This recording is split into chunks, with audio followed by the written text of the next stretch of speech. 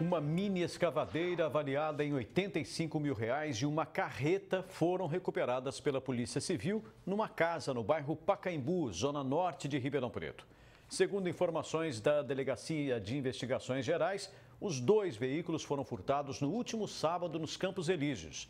Dois homens são investigados.